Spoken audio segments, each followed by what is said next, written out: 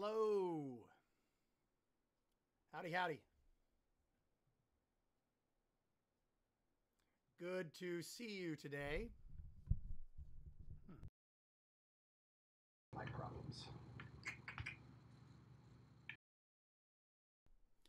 Do do do do do do do do do do.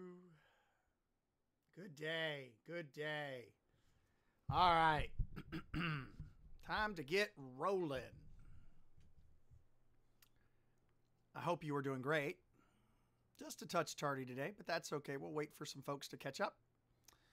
Uh, your questions, your comments, your thoughts, we'll handle them as we get them. Couple of uh, quick um, programming notes. Tomorrow, remember, is being is Thursday. It's our live stream Bibles, uh, which is our live um, our um, Thursday fireside chat. So we'll sit down and have a conversation tomorrow behind uh, my HT, myht.higherthings.org. Check it out. myht.higherthings.org. Have a look at it. And um, that's where this Bible study is streamed first and foremost. Uh, that's where I um, uh, look at the comments first before I look at Facebook.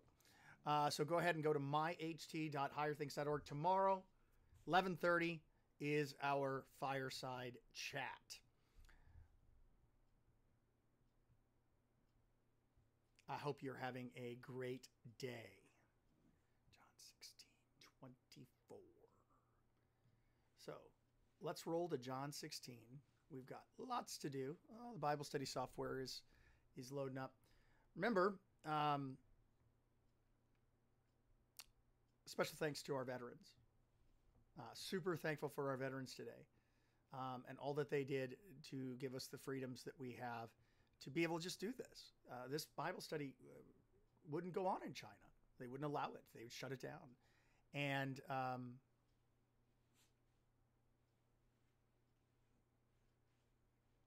uh, they'd shut it down. They would shut it down. So we're super thankful for that. My little computer is loading the Bible study software. It's doing the best it can. And if it doesn't load, then I got a real issue. But it'll load eventually.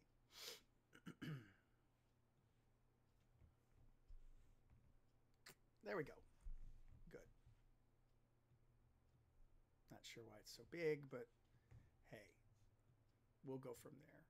We'll make it work. We're in John 16.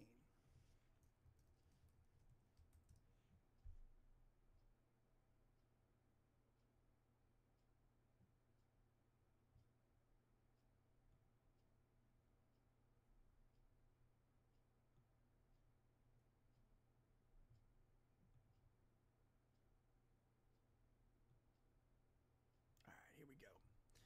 Well, that text got a little smaller overnight. We'll make it bigger for you. We'll make it bigger for me too. Let's get rolling. All right. I said these. Um,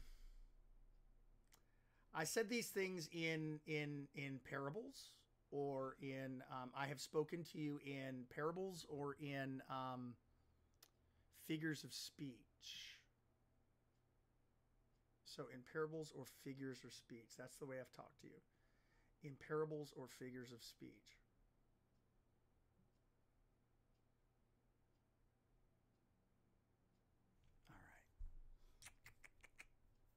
Hi, Karen. The Lord be with you. All right. So I've spoken to you in. Um, I've spoken to you in figures of speech. Um, the hour is coming when no longer I will speak to you in figures of speech, but parrhesia. I will. Um, uh, I will plainly and openly announce to you concerning my Father. In that day, you will ask in my name. And I do not say that I will ask the Father concerning you. For the Father himself loves you. because you have loved me and believed, perfect, that I came from God. This is so very important. This is so, so important for us to sort of ponder this morning. Um, first off, Jesus lets the cat out of the bag. Yeah, I've talked to you in parables before. That's what I've been talking to you in. I've talked to you in parables before. I've talked to you in parables. Um, uh, I get it. I've talked to you in, in parables. Um, I've done that. But there's going to come a time in which I don't talk to you in parables anymore. I speak to you plainly. I, I'm, I plainly lay out the um, what's going on. That time's coming. And I don't say to you that I'm going to ask the Father on your behalf, like I'm, I'm, uh, like I'm a, a, a the patron saint of lost keys that you call on me, and then I answer and answer your prayers. I do not say that.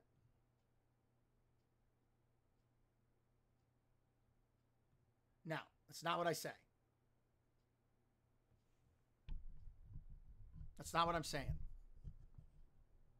That's not what's going on.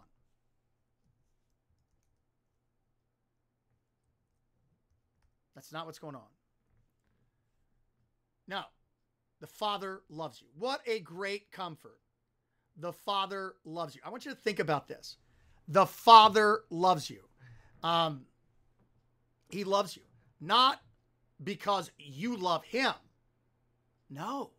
The Father loves you because of me. Because you love me. Because you love me, the Father loves you.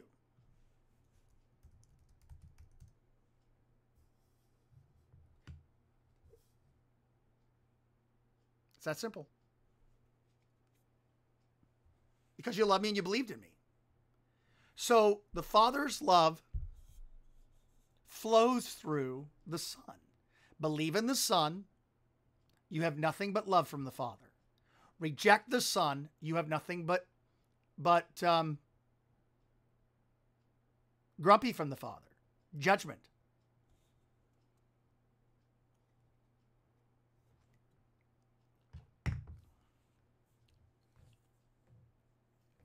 This is so important.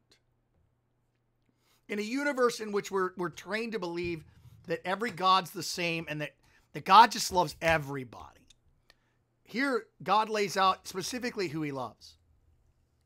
He loves those who believe that the Son came into your flesh, lived the life that you should live, and died the death you deserve. Salvation and and heaven and God's grace and all of that is is hinging upon Jesus. No Jesus, no love from the Father. No Jesus, you get what you deserve. No Jesus, and you're you're in your sins. I mean, the the idea that the Father loves you. He says it. The Father loves you because you have loved me. Everything depends upon the Son, and that makes it maximum comfort. After you get over that it's not about you, because this is after you get over the the, the the the the shock. Oh my goodness, he doesn't just love me. He loves me because of Jesus. After you get over that, there's a lot of good gifts here.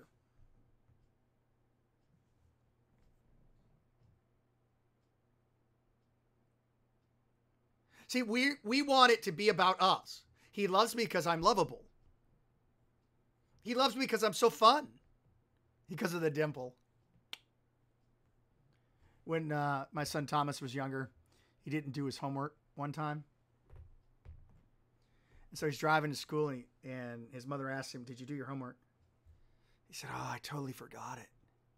Well, where is the homework? Well, it's at home. So what are you going to do? Well, I guess I'm just going to have to use the dimple.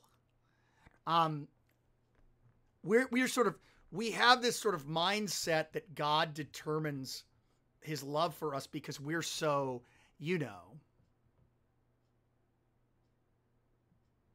because we're just so, you know, you know, us.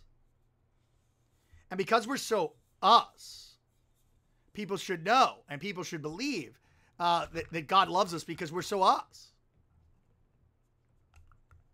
You're so vain. You probably think this song is about you. Yes, we do. Because we're so us. And so when he says here very clearly that the Father loves you because you love me, as if everything about life and salvation and faith and grace and the forgiveness of sins and eternal life all hinges on Jesus.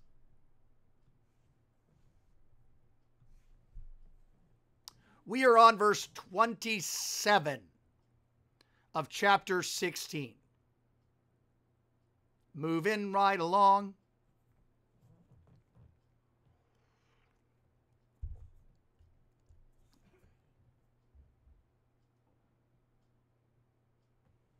Give me a stink eye. Good catch, bud. So, but, but, but, but once you get over that, think about the comfort. When you lay down in bed and you look at the ceiling and you can't sleep because of how bad of a person you are. When your sins are before your face and they horrify you. And you realize that not only are you concerned that God doesn't love you, but you're most concerned that you'll get caught. And that makes you even more ashamed.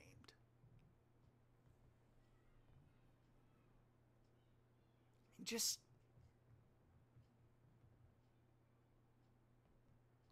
And Jesus comes in and says, The Father loves you. I don't have to go to the Father and ask and, and twist the Father's arm and use the dimple on the Father to get the Father to love you.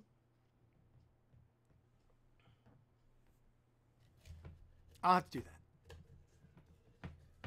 Instead, instead, the Father does indeed love you because I love you.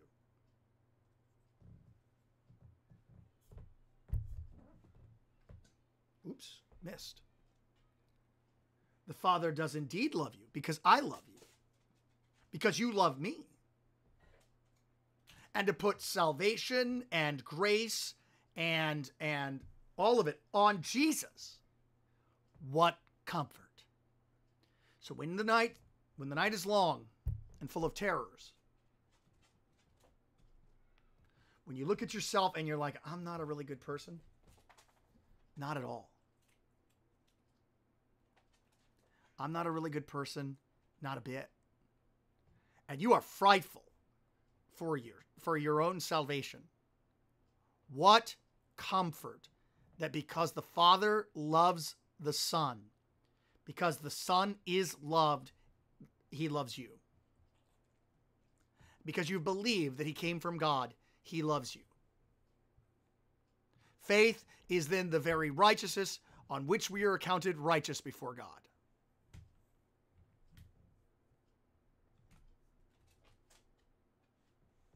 Father loves me in spite of, an, of because of my sins. The Father loves me because of Jesus. It's just that simple. And if anyone tells you otherwise, they're trying to sell you timeshares in um, desert land in Florida. It's just,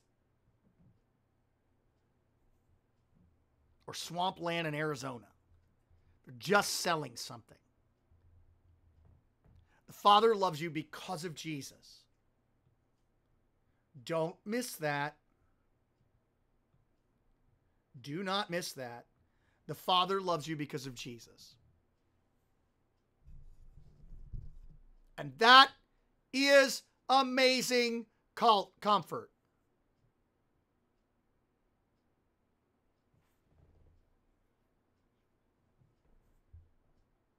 That's amazing comfort.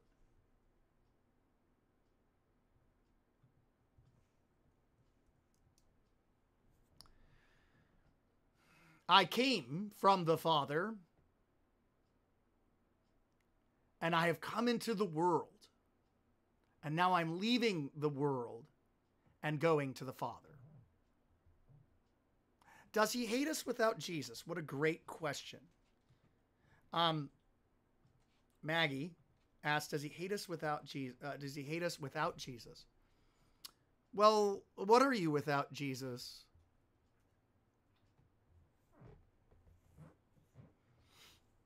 A lot of times, Protestant theologians will say uh, he loves the sinner and hates the sin,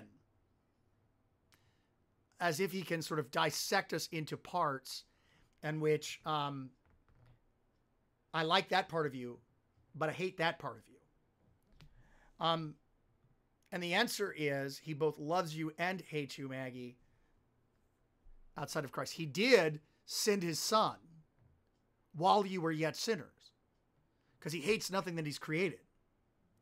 But it is also true that he hates sin and he hates sinners. And so he hates sin and he hates sinners, law, but yet he sends his son, gospel. And so um, you have, but that's not about you, that's about God. And so the answer to your question, Maggie, is law and gospel.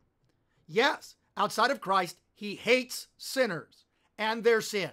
And anybody who tells you otherwise isn't reading the scriptures. He loves sinners. Well, he loves sinners in Jesus, outside of Jesus. But you are not outside of Jesus. You are in Jesus. And in Jesus, he loves you because of Jesus. Well, what about the collect on, on Ash Wednesday? He hates nothing he's created. That's true. In a gospel sense he sends his son. So we so we've got to we got to be we got to be very very clear on this. That outside of Jesus, God doesn't love me. That's the law. Outside of Jesus, I take my sin and I rub it in God's face daily and much. I give him the bird, the finger, I give him everything. I moon him, I do all sorts of evil against him. And I do it publicly and I do it privately and I do it because I'm my own God. And yet, he sends his son, which is the movement between law and gospel. So the law answer to your question is Maggie, he hates sinners. The gospel answer is he sends his son.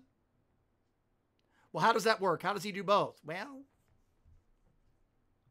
that's the law and the gospel. That's the law and the gospel. For us, there is no God apart from Jesus. So we see everything anew in Jesus. This is Pastor Reg. Where God loves, justifies, and blesses sinners. In Jesus, he's a friend of sinners. In Jesus, you can sing the song, Jesus is a friend of mine. Jesus is a friend of mine. All right, got the um I hope that answers your question. Law gospel that. Great question, Maggie. Great question. I came from the Father, I'm going to the Father. That's what's going on. And the Father loves you. And I don't have to, to twist the Father's arm to be good to you because he loves you because of me. What comfort? Can you get over that comfort? Can you beat that comfort? Can you be? So when you are sitting in bed and you're like, God hates me, what if he hates me? The answer to that question is Jesus. If God hates me, then then the only hope that I have is the suffering and death of Jesus, and that is a certain hope. That is a sure hope. That is a that is a I can I can oh oh the uh, the Chicago White Sox announcer, the old Chicago um, White Sox announcer on a home run. You can put it on the boards. Yes, yes, there it is. Home run. There it is. Because of Jesus. And then everything relies on, flows on, sits on Jesus. Because in that gospel, oh, here it comes. Once you understand that God loves you because of Jesus, you have an unending gospel. You have an un- that means he must love me. He can't damn me because Christ died for me. He can't damn me. The devil tells me he he's going to damn me. The, the, the world tells me I'm going to be damned. The, my sinful flesh tells me I'm going to be damned. All of it fight against me. And I and I lay in bed at night looking at the ceiling, worried that I'm going to hell. But no, because of Jesus, because of the cross, I can't go to hell. I can't go to hell because of Jesus. In Jesus, I must be saved. We hear that over and over again, and we've heard it from the Protestants. We've heard it from the Protestants. There's no other name given under men by which you must be saved. You get your stuff together, Maggie, and you must be saved. You lift up those bootstraps and you fight it out, and you must be saved in Jesus. That's so wrong. So wrong. What what what must be saved means is in Jesus, Tim Rake can't go to hell. In Jesus, Maggie Newton can't go to hell. In Jesus, George Borghardt, who is the absolute worst of the worst. Sometimes when people tell me off, I feel like Dr. Luther. It's like somebody needs to make you a doctor of theology because you can look at the dung pile and you can realize that it stinks. And yet, in Jesus, I must be saved. Can you can you fathom that? Can you even comprehend that gospel? well, what you're saying then is that then um then people just sin willy nilly and they get in because of Jesus. You antinomian pig and libert- libertine. No, that's not what I'm saying. But you better hope so. You better hope that people are saved despite their sinful lives. Lives. Better pray that they are, because who's the greatest sinner? You are. I am. So you better pray to God that because of Jesus, he saves even you. Oh, so you are saying that sinners go to heaven? Yes. In Jesus, they must be saved. So they could just sin willy and then they'll just get forgiveness afterwards.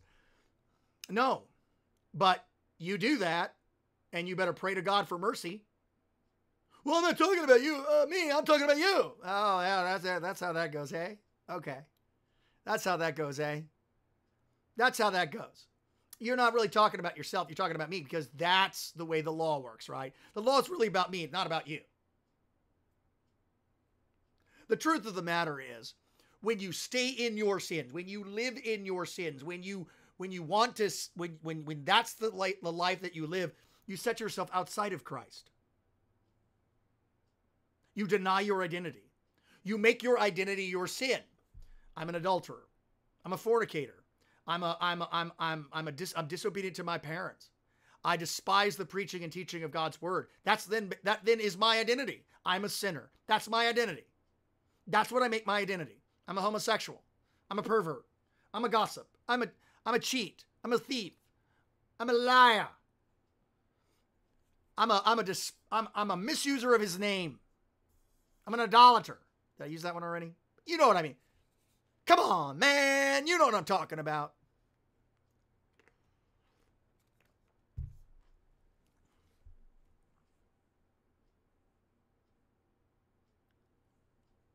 You better hope that God saves sinners. And the good news is that He does in Jesus. Outside of Jesus, no salvation. But you're not outside of Jesus, you are in Jesus. And in Jesus, in the forgiveness of sins, in your baptism, God saves even you. Me too. Me too. So the God who hates sinners still sends his son, but not because of the sinners, but because of his son. And those that love the son, the father loves. And those who hate the son, the father hates.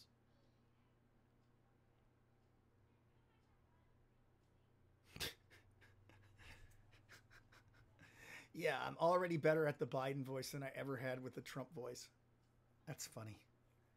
That's really funny. Oh man. Um, gotta love the um, just gotta love the, the the the disciples on this one. His disciples said to him, Oh, Idu, behold, now you're speaking plainly and not using parables. Woo! Finally, finally, you're just laying the smack down for us, and we're we're picking up what you're putting down. Finally, we're we're finally getting it. We're finally getting it. No, no, they're not. No, no, they're really not. They're really, really not. And now you're speaking plainly and you're not using figures of speech. We finally get it.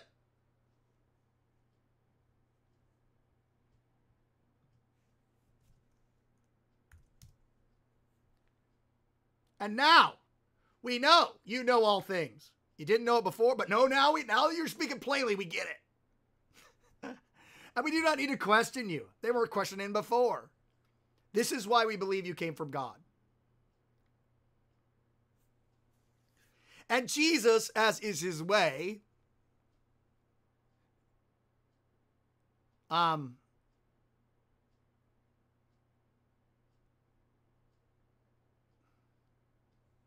Jesus, as is his way,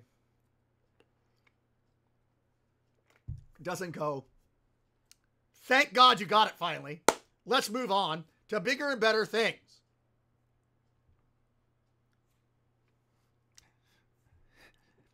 Now that you get it, we can move on to what we've really always wanted to do, which is sanctification.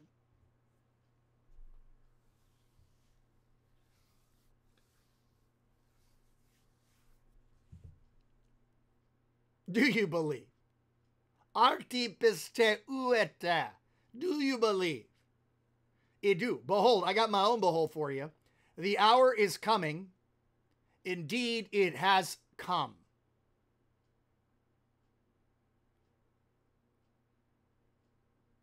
When you will be scattered.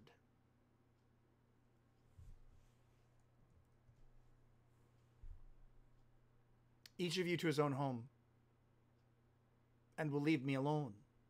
But I, but kai uk e mi monos, I am not alone. hoti ho pater, but the Father is with me. So he doesn't do the thing is like, oh, thank God you believe. I was so worried. What would I, how can you form a religion if no one gets it?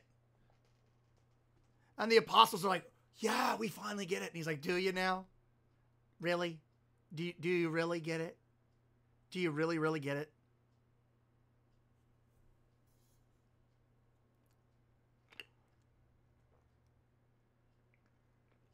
What's your fig leaf?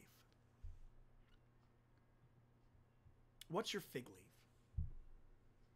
What is it you're putting your trust in? You say the words, I'm a filthy, rotten sinner, but you believe that you're a good parent.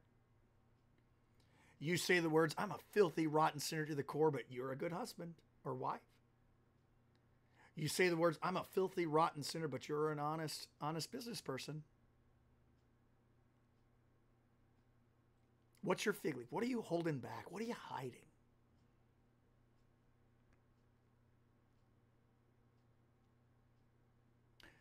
The only hope that we have, the only salvation we have, is that what's underneath our fig leaves is forgiven. That our marital status is hashtag forgiven. That our parenting is hashtag forgiven. That our that our work is hashtag forgiven. Because when the worlds come tumbling down, when the walls, uh, when the walls come tumbling down, and we look at our lives and realize that we are utter and complete hot messes of stupid, and that we look at we we look at God all the time. And we're like, now we get it, and we don't. Now we understand and are on board, but we're not. When that happens, the only hope that we have is that God would love sinners because of Jesus. That God would love us because he because of him, because of Jesus. That God would save us because of Jesus. That we don't have to use Jesus like a saint to manipulate God into what we need him to do. If you could if you could talk to your dad about this, that would be super duper helpful.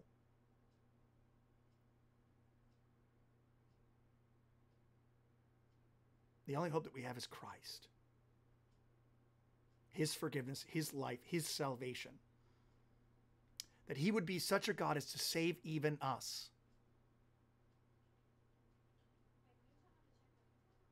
And then, and then the comfort comes that in Jesus I must be saved, even me, despite me, kicking and screaming against him, fighting him all the way. He goes to the cross and he dies for me, even me. Oh, get it now. We're on board, Jesus. Really? Because the hours are going to come. And what's his hour? What's his hour? The cross. The cross is coming, and you'll all be scattered, and you'll all run your own way, and you'll all abandon me. But my dad won't. What about Father uh, uh, Eloi Eloi Lama Sabachthani? My God, my God, why have you forsaken me? What about that? Well, that is as he suffers and dies on the cross. Before his father is with him through the beatings, through the mockings, through all of it. And he believes that even when his father abandons him, that he won't abandon him. And he believes that for us. Another fig leaf. At least I believe. At least I believe. Which makes me better than all the other people who may not believe. Not as well as I do. The height and depth. The great. Oh, oh, how great is my faith that I'm super faithful to God all the time. That's not the way the hymn goes. Oh, how great is thy compassion, faithful Father full of grace, who with all our fallen race, in the depth of degradation, you had mercy so that we might be saved eternally. Tomorrow, we'll start with verse 33. Remember, remember, remember. I'm sorry, tomorrow we have our fireside chat. Tomorrow, fire, fireside chat. Friday, um, I'll be buying a house, and so um, uh, Pastor Fenker will be will start you with verse 33. Um, write that down. Verse 33 on Friday with Fenker, which means Fenker could be at top speed, and all he can do is finish 16 and 17. Yes, giving me 18 when I come back from my house. Um, house um, or house purchasing. And and and here's the other thing. Um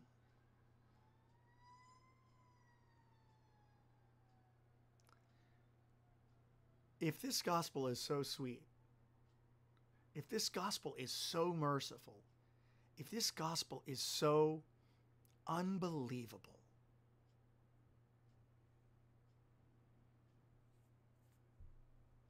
even you and me are saved. Even you and me. With our failed parenting, with our failed um, uh, uh, marriages, with our failed, um, with our, our failed relationships, with our failed friendships, and and here's the best of all, with our failed ministry. Because that's a fig leaf too. I'm at least a good pastor. That will save me. Nope, nope, I'm not. Only Jesus saves me. Only Jesus saves me. Only Jesus saves you. I will see you tomorrow behind MyHT for our fireside chat. Anything you want, you'll set the topic, and I'll just simply pontificate and have a discussion with you. More, less pontificating, more having a discussion, and we will talk about these things. And um, Friday, you will have Pastor Aaron Fenker. Remember to go to higherthings.org/store for stuff like this. Isn't this super cool? And this. Dare to be Lutheran, which means dare to believe this gospel. This gospel alone saves you. Store.higherthings, higherthings.org slash store. Check it out. Have a great day. Have a blessed day. I'll see you in a hop, skip, and a jump tomorrow.